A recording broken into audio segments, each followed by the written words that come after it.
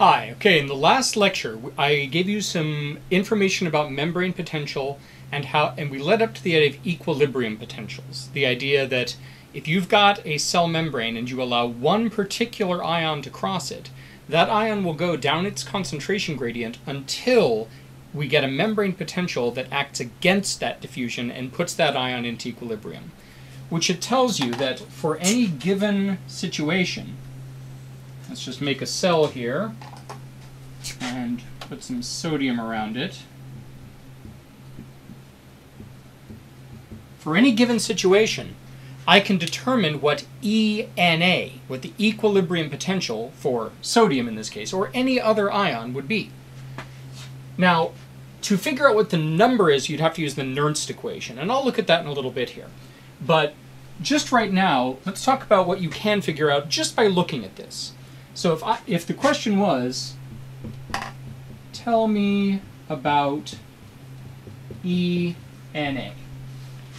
This can get really tricky because we're not usually, we as students at this point are really almost never used to thinking about something like this. This is a weird abstract concept. So let me give you some strategies to think about this. When I say tell me about ENA, what I think it, in your head, think I want to know about, there's two ways of looking at it the voltage which would put sodium into equilibrium. So ENA is the voltage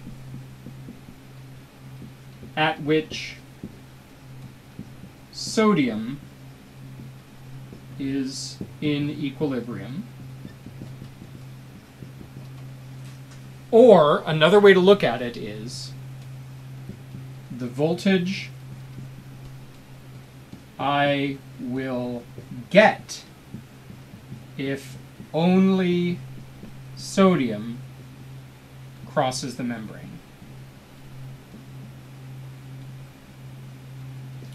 Those are two different ways of looking at equilibrium potential, but they will both lead you to the right answer. So let's approach, let's look at it with both of them. So first let's use the first one. ENA is the voltage at which sodium is in equilibrium. Equilibrium means that sodium is not crossing the membrane overall either inward or outward. Now if I look at this, diffusion would be pushing it inward.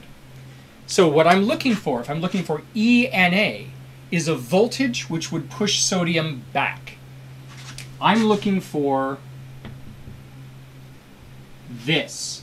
That is ENA, the voltage which would put sodium in, into equilibrium. Now, Sodium is a positive ion.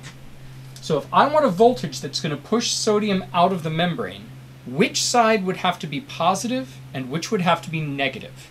Think about that for a moment, try to come up with an answer. Okay, if I want sodium to get pushed out of the membrane, then I want it to be repelled from the inside and attracted to the outside. Since it's a positive ion, I would want the outside to be negative and the inside to be positive. If there were that voltage, it would push sodium out. So, is that a positive or a negative voltage? Remember the way to do that. The inside is compared to the outside. The inside is positive compared to the outside. So this means ENA is a positive voltage. We don't know how many millivolts at this point. We haven't done the Nernst equation. But I can say that it will be a positive voltage. Now, let's look at the other way and see if it gives us the same answer.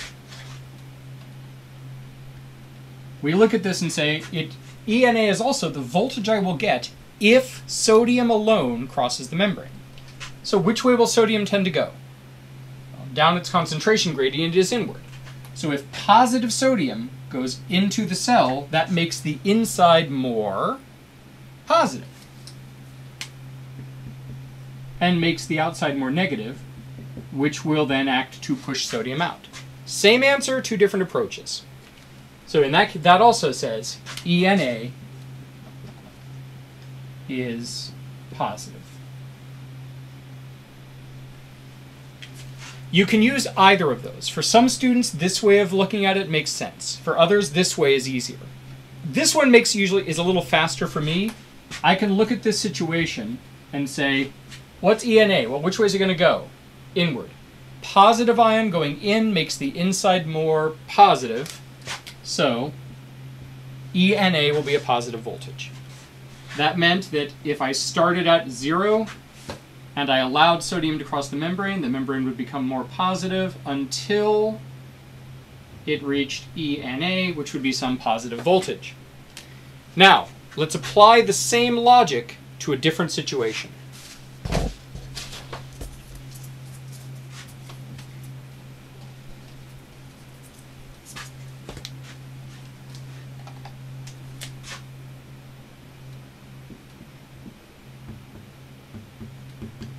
Let's look at EK.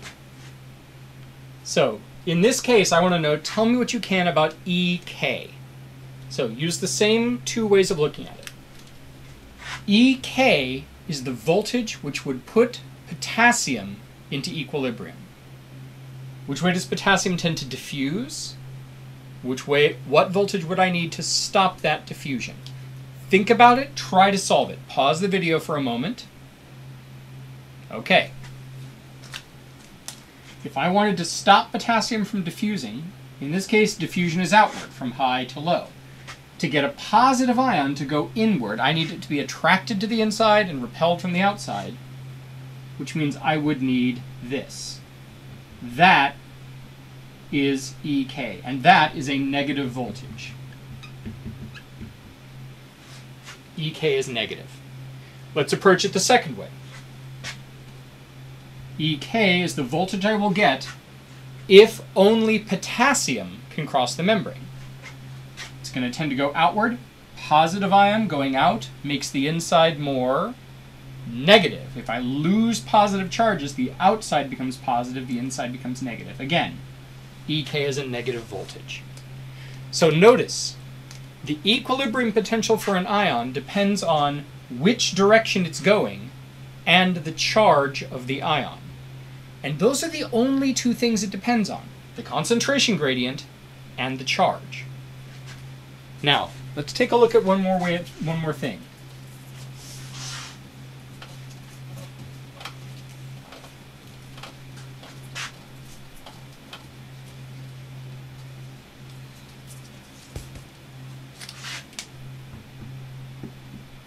Let's bring both of those ions in here. Sodium and potassium. Now, if I look at this situation, what can you tell me about EK? Okay, it's just the same as it was before. I'm going to use the second way because that's a little easier for me. Potassium would tend to go out. Positive ion going out makes the inside more negative. So EK is negative in this case. Tell me about ENA.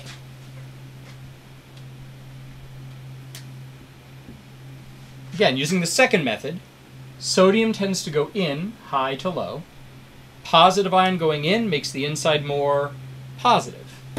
So ENA is positive. The voltage which would put sodium at equilibrium is a positive voltage. The one which would put potassium at equilibrium is a negative voltage. Those are not mutually contradictory this is a and this is a thing that often makes students confused. So let me address probably the most common misconception about this. If I said, "Tell me about ENA," it is very tempting to say, "All right, ENA is the voltage from sodium. There's more sodium outside than inside. Sodium is positive, so there's more positive stuff outside than inside, so it's positive, negative. So ENA is negative." If you are thinking that way, that's totally understandable. That's a very, very common approach to this, but it doesn't work. Equilibrium potential, in fact, almost always in membrane potential, it's easiest to think about it about saying what will happen with this ion and what will that do to the membrane potential. So if I want to know about ENA, I'm not actually looking at where the charges are right now.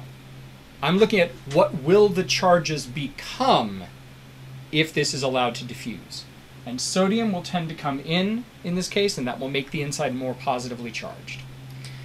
Now, the other issue students have with this, which is a totally legitimate one, is to look at this and say, but you said these numbers don't change. So if sodium's coming in, but this number is still greater than that one, then isn't the outside still positive? It would be if these were the only ions that were there. But you shouldn't make that assumption. In fact, unless you are told otherwise, you should assume that a membrane starts out very close to having equal charges. In other words, if I gave you this with just positive ions, you could reasonably assume that there was some amount of negative charge that came very close to balancing all this out. You could imagine, for example, that there was 110 millimolar chloride on either side, which would make this just about equal. Then, if I open a sodium channel and sodium starts coming in, it takes it from being zero to being a little positive inside. I won't usually draw the balancing negative charges but you can assume that they're there unless specifically told otherwise. The short version of that is just remember it's not about where the ions are now, it's about what their movement does to the membrane potential when you're talking about equilibrium potentials. Alrighty. Now, before we go on, let's talk about the Nernst equation for a moment. If I wanted to know what actually is the membrane, the equilibrium potential for sodium in that case? How would I do that? So this is something called the Nernst equation. And I will not ask you to solve this equation. You will not have to do this. But for some people, seeing the math behind it can help them a little bit. Now, if you are a student who, when I say math, says never mind and stops the video, don't. It's very common for students to have some level of fear associated with mathematics because it's weird and uses symbols that aren't that don't make seem to make sense and people assume that they're not good at it. And you shouldn't make that assumption. Math is about the relationships between things it's a way of sort of formalizing those relationships so really when i draw you the nernst equation all i'm showing you is a way of showing how several things are related to each other don't worry if you don't know how to solve it. Don't worry even if it doesn't make a lot of sense. Just kind of open your mind to it. So, Nernst equation is that the equilibrium potential for an ion, some ion we'll call X,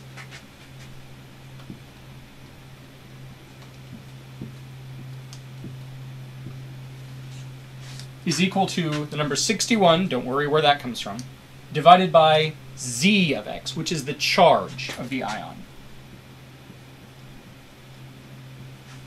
times the log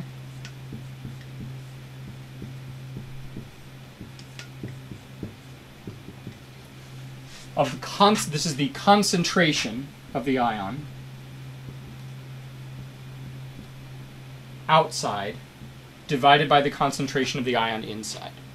If you haven't had or don't remember logs, this symbol, log of this, just means what power do I have to raise 10 to to get this? That'll probably make sense if I actually show you a solution for this. So, I'm going to move this equation out of the way. This is Ex equals 61 over Zx log x out over x in. Now, let's look at the situation we were looking at before. sodium 110. First, before we go on, practice what we've just been doing. Tell me if ENA is positive or negative. Pause the video and try to think that. Try to figure it out. Okay. E, which way is it going to go? Positive ion going in makes the inside more positive. So we know that E and A should be positive something. Let's use the Nernst equation to figure out what. So, E and A equals 61 divided by the charge of sodium. That's one positive charge plus 1. So that's just 1. 61 divided by 1 times the log of the concentration outside, 100, divided by the concentration inside, 10. Alright, so this is 61 divided by 1 is 61 times the log of 100 divided by 10 is 10. 10 to what power is 10? 10 to the blank is 10. If that if you're not familiar with that, don't worry too much about it, but it's 1. So equals 61 times 1 equals 61. ENA in this case is positive 61. The units there are millivolts. So, in that case, 61 millivolts with the inside positive, outside negative, is ENA. That's the voltage which would stop sodium from moving.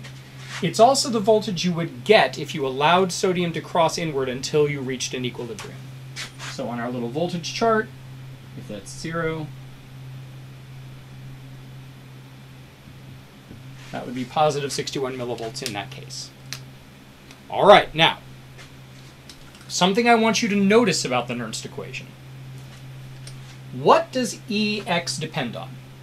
It depends on two things. The charge of the ion and the concentration ratio. That's it. ENA depends on the fact that it's a plus one ion and the fact that it has a 10 times concentration gradient. That's all it depends on. If I started here and then added a bunch of potassium,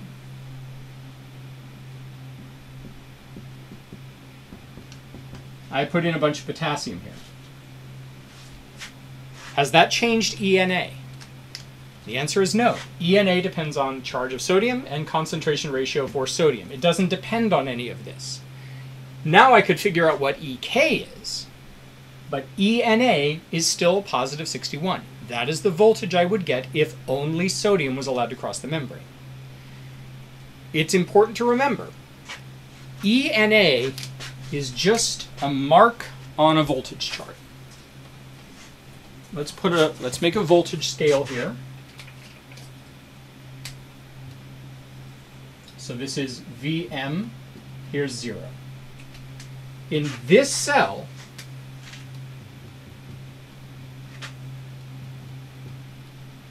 ENA is positive 61 millivolts. That means if the voltage is here, then sodium will be at equilibrium. It also means that if I allow only sodium to cross the membrane, that's where the voltage will tend to go. It doesn't mean the voltage is there at any moment. This is a little bit like speed limit. On, the on a particular stretch of freeway, the speed limit is 65. That's just a mark on my speedometer. It says if you're on the freeway, don't go any higher than that. It doesn't mean I am going 65. I could be going more or less than 65. It means that's where the speed limit is. Likewise, the membrane potential in this cell, Vm, might be above positive 61 or below it or at 61 or somewhere. It could be anywhere. That's just if it's at that point, then sodium will be at equilibrium. And if you allow sodium to cross the membrane, it'll tend to go towards that point. But that's all that means. In this cell, what can you tell me about EK? Positive ion going in makes the inside more positive. So EK is also going to be positive. How positive? Let's see. EK equals 61 divided by the charge of potassium, which is also plus 1, times the log of concentration outside divided by inside. Now, for a moment, think about something. Do you expect this EK to be more or less positive than that? Will it be more than positive 61 or less than? conceptually think about it. What is EK? It's the voltage I need to stop potassium's diffusion. Potassium tends to go in, like sodium. But does it tend to go in more or less strongly? Look at the ratios. Sodium has a 10 times ratio. It's, there's 10 times more of it outside than inside. What about potassium? Two times. It's not as much. The slope isn't as hard which means it doesn't have as strong a tendency to go in, so if I wanted to stop it, I don't need as strong a voltage. I will still need a positive voltage, but not as much. In other words, I'm going to predict that EK will be more than zero, but less than positive 61, somewhere in here. Let's figure it out. So, this is equals 61 times the log of 100 divided by 50 is 2. 10 to what power is 2? I don't I can't do that in my head. I'm going to have to get my calculator out. So I go 2 and log to base 10. 0.301. Let's just say 0.30.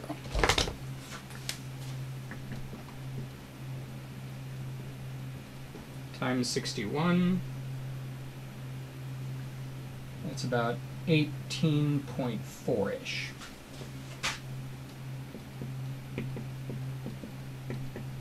There's EK. Again, just another mark on my voltage chart. EK is the voltage that would put potassium in equilibrium. If I'm at EK, if I'm at positive 18.4 millivolts, potassium won't be moving either direction. Will sodium? Yes. 18 millivolts is not enough to stop sodium. You'd need 61 to stop it, which means sodium will be slowly drifting in. You just don't have enough voltage to stop it. And that will change the membrane potential. That'll be bringing it in, making it more positive, bringing it up this way, which means we're no longer at EK, so now potassium starts moving. So, where at what voltage would they both be at equilibrium? Can't do it. There is no voltage that would put them both at equilibrium. It's not it's not possible. So, that's an interesting situation. So, what you've learned right now is that equilibrium potential for an ion depends on the charge of the ion and its concentration gradient. With the charge and the concentration gradient, even without the Nernst equation, you could tell me is it going to be a positive or negative voltage. And if you had two of them, you could tell me, even if they're both positive, which one will be more positive. The bigger the ratio, the stronger the voltage. So ENA will be more positive than EK because sodium has a bigger concentration gradient. And you've and if you are okay with the math, you've learned that you can calculate the equilibrium potential, and that it goes with the it goes with the logarithm of the ratio. Um, don't worry about that right now. We may touch on that later, but I will never ask you to solve that. So what we're going to oh, and the last thing you've learned, and this is an important one. The equilibrium potential for an ion is just a mark on the voltage chart. It's the voltage you will tend to go toward if that ion can cross the membrane. And if you're at that voltage, that ion will be at equilibrium. And if you're not at that voltage, it will not be at equilibrium. So, those are some things you've learned. Now, the next thing I'm going to do is going to talk about what happens if more than one ion can cross the membrane at a time. Because that's going to lead us into the first topic in the nervous system, which is resting membrane potential.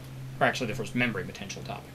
So, let's cover more than one ion at a time, and then we'll be done with the core concepts.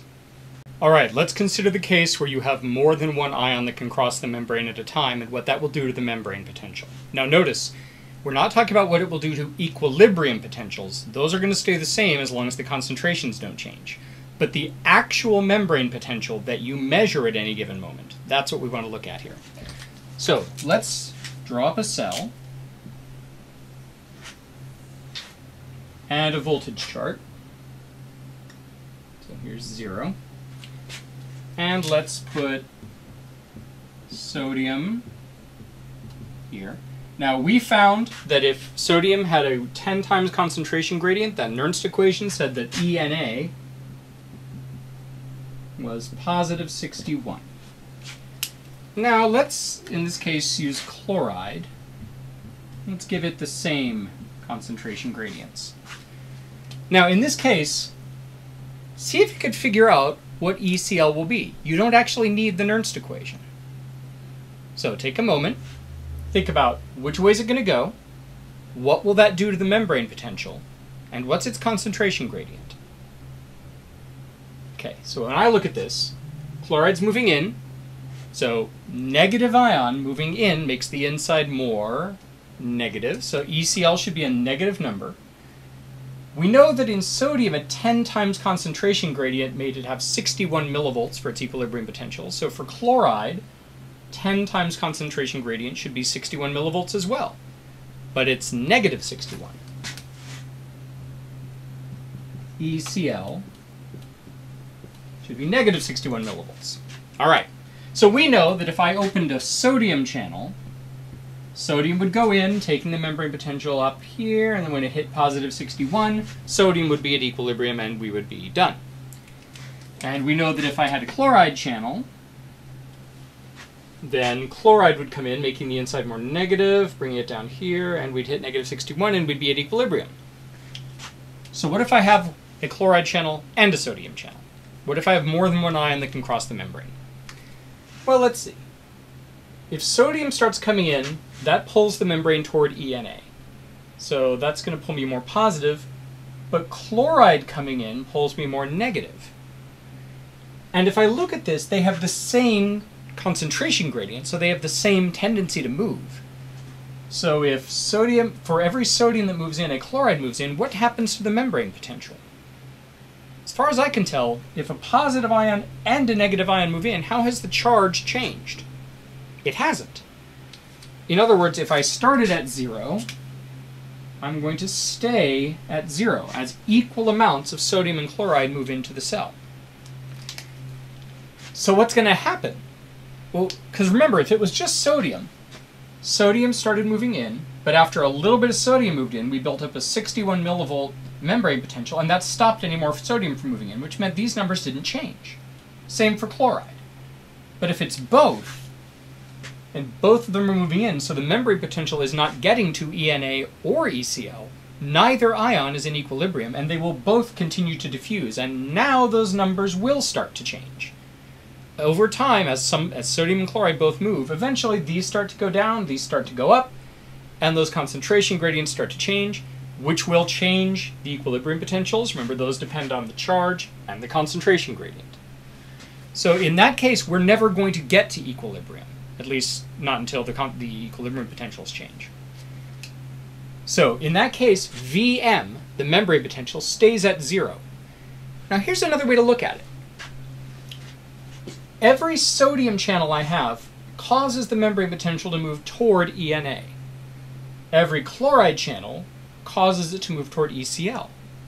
If I have one of each, they're both pulling on it, which means it'll stay, and since there's just one of each, they pull equally, which means it stays in the middle, right at zero, which is what we thought. So, this leads to what I would recommend is a way to approach how to think about what happens to membrane potential as you open or close channels. Every time you add a channel for an ion, you cause the membrane potential to get pulled toward that ion's equilibrium potential. Every sodium channel I add pulls us toward ENA. Every chloride channel pulls us toward ECL. So imagine, for example, that I have a situation where I start with one of each, so my membrane potential is pulled equally, so it's right in the middle. And then I suddenly add a bunch of sodium channels. Every sodium channel pulls toward here. So now I've got more places for sodium to come in. It can come in faster than chloride can leave. So the inside becomes more positive. It pulls it toward ENA but it won't get all the way there because I still have some chloride channels letting these negative ions in, keeping it from getting too positive. So I'll end up somewhere here, maybe. Now, I'm not still not at equilibrium for either ion. If I'm at, say, positive 40, sodium is still coming in. Slower, that positive 40 is holding it back somewhat, but it's still coming in. That positive inside is drawing the chloride in, it's coming in even faster. So what I'll do is get to a membrane potential where the slow inward movement of sodium is balanced by fast inward movement of chloride. Slow through four channels, fast through one channel. Once those are balanced, my membrane potential will stay stable. I'm not at equilibrium, but I'm at a steady state. I'm at a stable membrane potential, at least until those ion gradients start changing. So that sets us up for what you'll need to know to understand how we're going to use membrane potential in the nervous system. Membrane potential is hard. Spend some time on it, practice these things. There are some practice problems online. Keep doing it until you can solve the problems on your own. It will take a while and you will get them wrong for a long time in all likelihood. Don't be discouraged by that. That's a normal part of this process. You can do it. There will be questions on the test about this, so it is worth your time. So spend some time with that. And when you get and if you run out of practice problems, let me know and I'll send you more. All right, you can do it. I'll see you in the nervous system lectures.